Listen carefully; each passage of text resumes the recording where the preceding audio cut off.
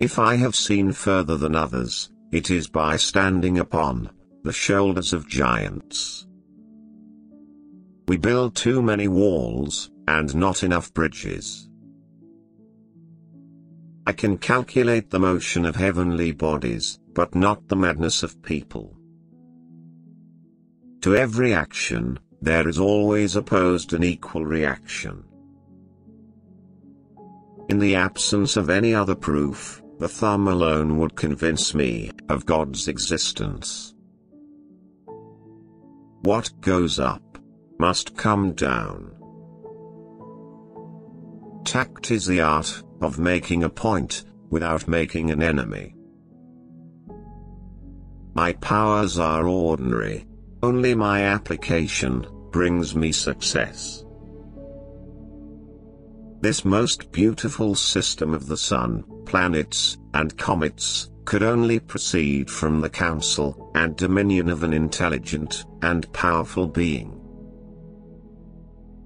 Plato is my friend, Aristotle is my friend, but my greatest friend is truth.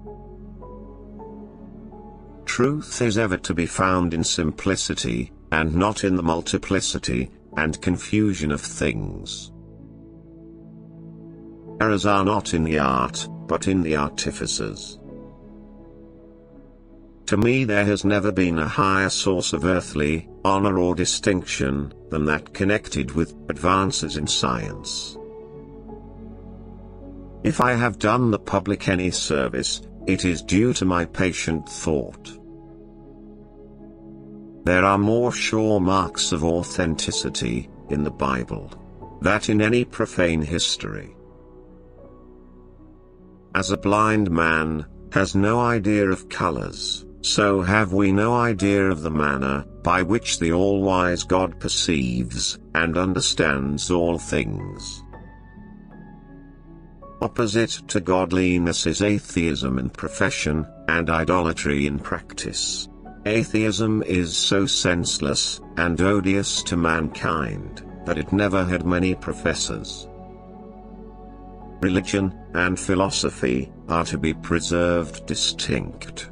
We are not to introduce divine revelations into philosophy, nor philosophical opinions into religion.